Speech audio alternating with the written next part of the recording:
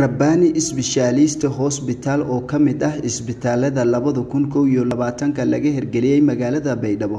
gaarna loo leeyahay ayaa bilaabay isbeddel dhanka caafimaadka ah oo looga adeegayo bulshada Koonfur Galbeed.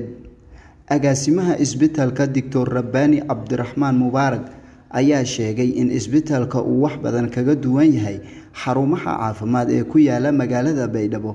Agaasimaha ayaa sheegay in bulshada magaalada Baydhabo ay ka dabooli doonaan howlihii caafimaad ee ay u aadi jireen dalka dibadiisa iyo magaalada Muqdisho ee caasimadda dalka. Mar uu la hadlayay Jubaland TV ayaa waxa uu yiri isbitaalkan Rabani Specialist Hospital aasaaskiisu waqti badan buu soo bilaabmay anugu shakhsi ahaan waxaan ahaa dhakhtar ka shaqayn jiray Baydhabo muddo sanadii xoogaa lix bilood ku dhow waqti kooban oon wanaa kadib waxaa soo noqotay oo waxaa igu soo dhalatay inaan soo noqdo waddankayga ku soo noqdo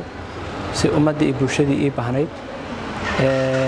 Aan wixii aan anu aqoon karaankayga ah aan qabto isbitaalaadka magaalada ku yaalayna baahiyihii yaalay wax ka duwan inaan la nimaano runtii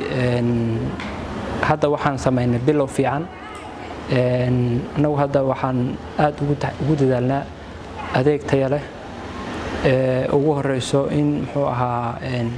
sheebaaradii muhiimka basica ahaa dhammaan sidii waxaa shaqooyinka keliyaha beerka muxuu ahaa in dheecaanada jirka hormoonada muxuu ahaa waxaan loo yaqaano saxradii kaada microscoobkii hormoonada jirka khalkhalka dacaada wareerka dhalmala'aanta xagga ragga hamar darada dumarka haddii ay xagga caadada ka cabanayaan ama xagga dhalmalaanta ka cabanayaan xagga muxuu ahaa colostrooshii dhammaan adeegyadii sheybaadhka oo inta badan xagga dhiig yaraantii wixii lagu eegayay waxyaalaha kalen muxuu ahaan ku soo kordhinay waxaa ka mid ah kombyuutar kombyuutarkaasoo siyaabo kala duwan wax loogu saari karo sida hadday noqoto uur ku jirta hooyada uurka leh sida beerka haddii ay ku jirto beerka kelyaha xameytida kaadaysa qanjiga ragga waxyaalaha in la eego iyo